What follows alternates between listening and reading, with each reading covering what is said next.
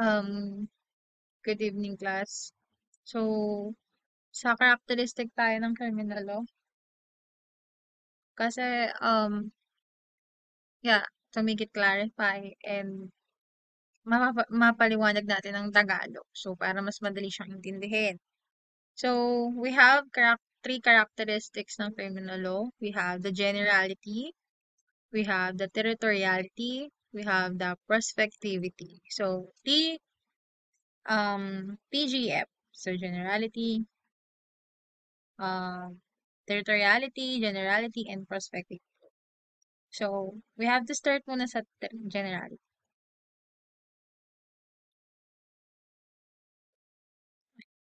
Tagal ng slide ko. Yeah. Uh, when we say generality, um, ang criminal law is nag effect or nagbabind sa lahat ng persons na nakatira, who live or sojourn in the Philippine territory. It has, um, it means to say, mga tao na nakatira or sumandali o nandito sila sa Pilipinas nung kinumit nila yung um, krimen. Yun yung generality. Um, we have to make it clear, class, na there are greatest confusion among students kasi pag generality, nakikita nila yung Philippine territory. So, they're opted to think na, ay, territory to. It's something to deal with territory. Ah, ano yan? Malaking epekto dyan yung teritoryo. Hindi, hindi. Pag sinabi natin generality, it's persons. Mga tao. We are dealing on persons here. Sinasabi lang dyan na yung mga tao, sa kanila umiepekto yun kapag yung krimen ay ginawa nila sa teritoryo ng Pilipinas o nandito sila sa teritoryo ng Pilipinas nung ginawa nila. At dito sila nakatira. Yun yun. Persons to ha. Pag Philippine territory ang pinag-uusapan, dun yung susunod na characteristic sa territoriality. Pero we have to put in our mind kapag pinagpapaliwanag tayo ng generality, iisipin natin tao to. Okay? So, the legal basis of the generality is on the Article 14 ng ating New Civil Laws, di ba? Ay, New Civil Code, di ba? Sinasabi sa Article 14 ng New Civil Code na penal laws and those um, public security and safety is obligatory to the Philippine territory subject for exemptions of principles of international law and treaty stipulations. So, legal basis siya ng generality. So, let's go back on uh, generality. So, there are three exemptions to gen general application of criminal law. So, si generality, siya yung general rule na kapag ang ikaw, ginamit mo yung crime, na ikaw ay residente ka ng Pilipinas, nakatira ka sa Pilipinas, kinumit mo yung crime, so yung Philippine criminal law mag-a-apply sa'yo. Tapos, kinumit mo yung crime, kahit foreign nationals ka, pero dito mo kinumit yung crime, subject ka sa Philippine criminal law, mag magti-take effect sa'yo yung criminal law. So, kapag pumasok yung exemptions, yung tatlong exemptions yan, anong ibig sabihin nun? May exemption na sa general rule ng generality. Ibig sabihin nito, sino yung mga tao na kahit nakatira sila sa Pilipinas, kahit nasa Pilipinas sila nag-commit ng crime, hindi sa kanila mag apply yung Philippine Criminal Law. So, yun yun na tao, sino-sino yung mga taong yun na kahit nasa Pilipinas, wa, wa effect sa kanila yung Philippine Criminal Law. Hindi nag-epekto. So, alamin natin sino-sino sila, no? Sila yung mga taong pasok sa TIP, tip. So, pasok sa, um, sila yung pasok sa city stipulations. Sila yung mga taong pasok sa treaty stipulations. Sila yung mga taong pasok sa principles ng ating public international law. At sila-sila yung mga taong pasok sa ating law of referential applications. So, Nakakaintriga, no? So, alamin natin sino-sino yung mga taong yon na pasok sa exemption ng generality.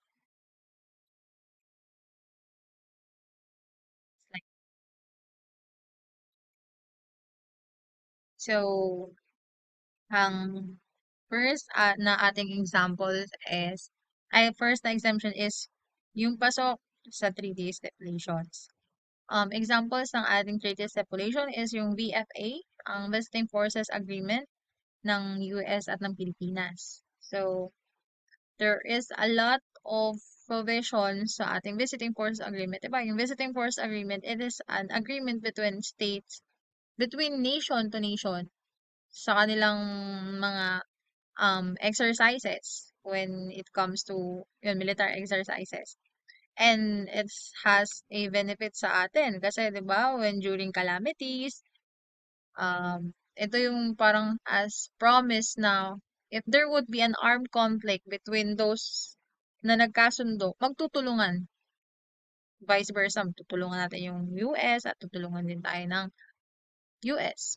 So, there is a lot of provisions in treaty stipulation, but we have to quote, so we have to quote dito, kailangan natin palabas eh, sa paanong paraan sila naging exempted sa generality. So, um, naging exempted sila sa generality kasi during sa treaty stipulations, kapag ang US personnel o US soldier na nandito sa Pilipinas na nakakumit ng crime, hindi sa kanya na-apply ang criminal, Philippine criminal law kapag yung crime na yun ay may relation sa kanyang um, official duties. Kapag yung crime na yun ay may relation sa US properties. Kapag yung crime na ginawa niya sa Pilipinas ay in relation sa kapwa niya, US soldier.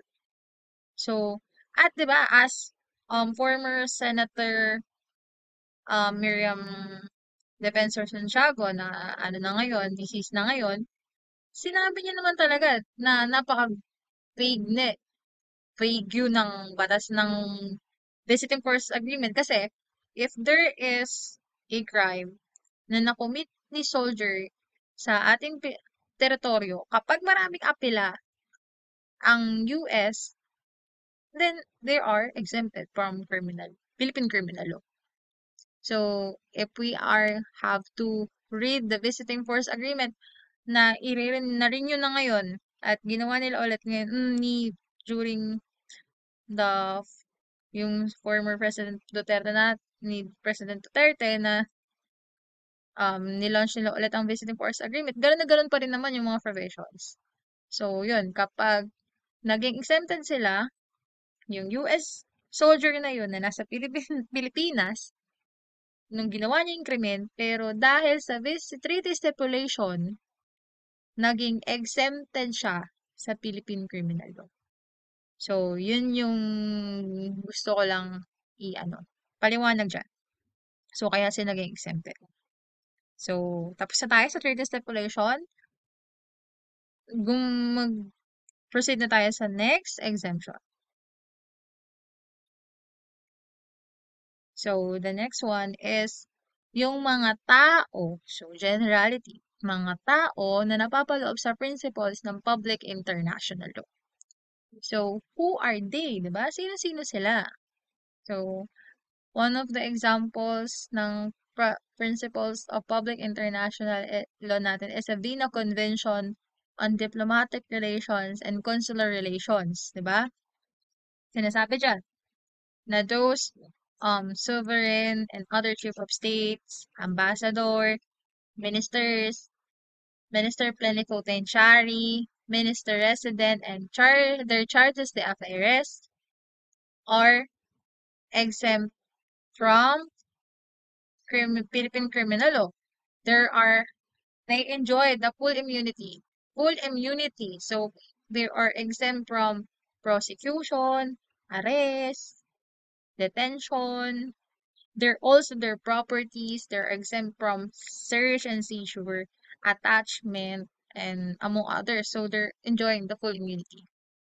So, itong mga taong to, kahit sila ay nakakomit ng crime sa teritoryo ng Pilipinas. nasa teritoryo sila ng Pilipinas nung ginawa nila yung krimen na laban sa, sa laban sa um, batas natin, hindi ma-apply sa kanila ang Philippine Criminal Law dahil sa principles of public international law na we are one of signatories na it was been agreed upon, di ba? By our um, international community. So, gusto ko lang tandaan nyo dyan na yung consuls and vice consul and their other commercial representatives and foreign nations ay wala silang full immunity. Bakit, 'di ba? Kasi it was been including sa Vienna Convention ng consular relations. They are not exempt from criminal jurisdiction. So, ano ibig sabihin nun? Kahit si consul, kapag nakakomit siya ng crime dito sa atin, magtutok effect pa rin yung ating Philippine Criminal Law. Hindi katulad ng mga diplomats, yung mga head of states, kasi ibang convention yun, Vienna Convention of Diplomatic Relations. So, dito tayo mag-focus sa consular relations. Sa mga consuls. Kasi, as provided sa Vienna Convention on Consular Relations, pertaining on Article, I think that was Article 43. Sinasabi doon na, wala, oo, wala nga silang um, immunity. Wala silang full immunity. Pero may tinatawag silang consular immunity.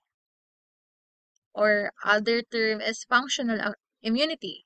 So, immunity in a means that there are only exempt from administrative jurisdiction and judicial jurisdiction. Kasi it has way connection under function as a consul. So, ano-ano yun, di ba? Kapag nakakumit sila ng crime, katulad ng um, failure to um, grave, yung they're failing to do their job, or it would tantamount for them na maalis sa office dahil um, hindi sila nagawa non-feasance, misfeasance, like that those crimes na against sa ating CSC law, they're exempt from that. Only on that um, kind of immunity na meron lang sila. Hindi katulad ng katulad ng mga head of state na immune talaga sila sa immune talaga sila sa criminal jurisdiction kahit nakakumit sila ng mga krimen under sa book 2 ng ating criminal law is exempt sila. So, consular um, immunity, again, there is also a called the functional immunity. They're immune kasi it would be detrimental for them to do their job effectively if they would never be enjoying the functional immunity. Those law na against sa ating CSC pertaining in their performance under office. So, yun lang yung kanilang immunity. So, I hope that that is all clear. So, sila yung mga tao na kahit nasa Pilipinas sila nakagumit ng crime, they are exempt from criminal liability. So, next one, the last one is, yeah, we have the absolute immunity, consular immunity, and the reason why there is a functional immunity. I've already been discussed it. Nahuli lang yung slide. Um, so let's go on the last exemption. Exception. So yeah, we have the law on preferential application. So um, the law on preferential application would be the last exception natin sa ating generality characteristics ng Philippine Criminal Law. So, on preferential application is one of the exemption ng um, generality. So, sino-sino yung mga tao na nakapaloob sa on preferential application na kahit nasa Pilipinas sila nag-commit ng crime, they're exempt from criminal liability. They have the immunity at all. So, we have three here the member of the Congress. Second one, So we have the Congress of the Philippines. We have the amba any ambassador. We are those included din yung mga na, nasa RA 75 ng mga tao doon. And the worship rule. Yung mga tao nasa loob ng worship. So, mag-start tayo dun sa number one example ng law preferential application. Huwag na tayong lumayo, lumayo. Sa Kongreso, diba? Si Congress ay hindi magiging liable at kailanman magiging liable ng libel or slander sa any speech, any debate, any hearing sa Congress or in any committee thereof. And no one would ever have the right na implikan sila ng disciplinary hearing kasi they have their own ethics committee. 'Di ba? So, meron ding, they have the immunity like, they could not be liable for those um punish crime which is punishable uh, less than six years, di ba? when the Congress is in hearing. There are immune from arrest. So, there are examples. Kasi, even though the Congress, Kongreso ka, you're a Senate, kongresista ka, nasa Pilipinas ka, nakakomit ka ng libel, nakakomit ka ng slander, hindi magtutok effect sa'yo yung Philippine Criminal Law. So, there are one of the exemptions. Diba? And, kaya nga 'di ba yung mga kongresista, they have the free free will, they have every every right and every freedom to tell to their former, to their other um na kongresista din yung mga kahit na libelous in nature na during their hearing or their debate, 'di ba? Sinasabi nila na um, ikaw nga eh ginagawa mong lahat na lang ng bukid na makita mo ginagawa mong subdivision. So, it's libelous and its form and nature, but that senator is could not be held liable of libel. So, malaya silang sabihin ng sabihin ng kung anong gusto nilang sabihin. Kahit na um, maka, libelous in nature yun, makakasira yun ng kanyang dignity or ng kanyang image, kanyang public image.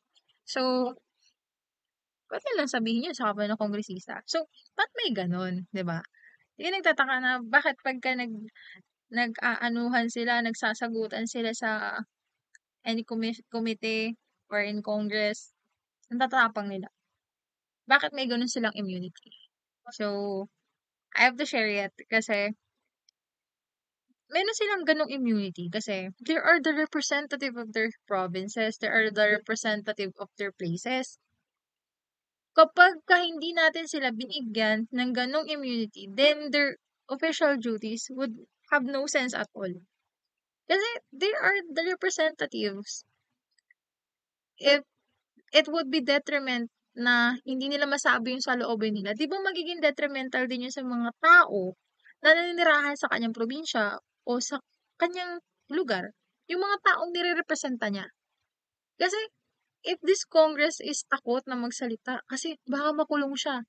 Baka maaresto ako pag sinabi ko ang totoo. Eh di parang hindi mo pinagtatanggol yung pangangailangan at totoong sitwasyon ng bayan mo, ng probinsya mo.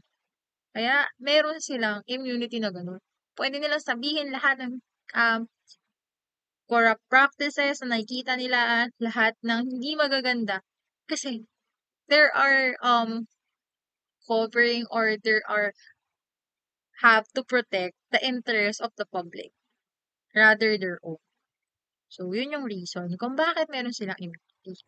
Katulad na lang kapag, di ba, mga budget hearing, mga budget proposals, here is the con Congress ng lugar na ganito, sasabihin niya na, bakit hindi niyo isasama sa budget yung ano namin, yung airport namin?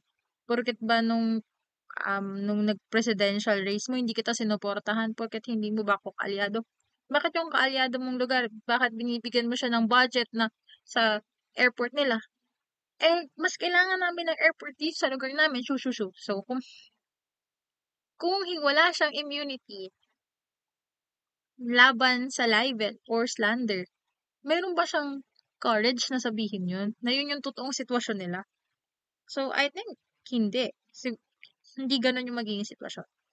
So they have the every courage to say what is um the real um situation of their provinces and their places because of that immunity. So therefore, the Congress is immune for libel and slander. And one of the exemption of general generality of criminal law. Second part of law and preferential application is that yung nasa RA number 75, ang haba niyan. So make it simple. Pag sinabi mo kasi yung RA 75, yung full immunity ng Minister Plenipotentiary, ng mga ambassador, ng mga head of states, ng mga chief of states, na i-extend sa kanilang domestic servant. Yung immunity nila sa arrest, immunity sa seizure, their, their full immunity, ay na-extend sa kanilang PA, sa kanilang inuutusan, sa kanilang yaya, sa kanilang caregiver, sa kanilang kusinera, na-extend yun sa kanilang mga domestic servant and helper. So, yun lang yung meaning nun. So, again, hindi lang si head of state ang immune sa Philippine Criminal Law, pati yung dala niyang PA. So, kung yung dala niyang PA, dala niyang domestic servant, kanyang kasambahay, dinala niya nakakommit ng crime, yun sa Philippine Criminal Law.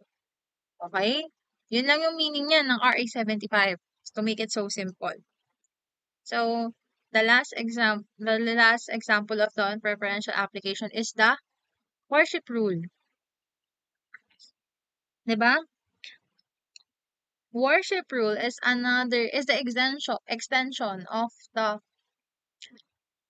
territory ng country pagmamayari ng worship rule. So, any crime that being committed inside the worship rule, even it's been docked or it's even it's been park, nakadaong na yan sa ating Philippine waters, territorial waters, then criminal would never be applied to all of the persons na nasa loob nga sila ng teritoryo ng Pilipinas, pero nasa loob nga naman ng worship worship nila. Ito yung mga um, barkong pandigma. Kasi, they're extension yun ng territory nila. So, it, in a general sense, kinumit nila yung crime sa territory pa rin nila. Di ba, included dyan yung mga embassy, tulad ng embassy natin sa US, territory natin yun. Kapag nag-commit tayo ng, um, nag-commit ng crime sa mismo embahada natin, the Philippine criminal would be applied kasi territory ng Pilipinas. So, ganun din. Pag warship, pag mga sasakyan pang digma.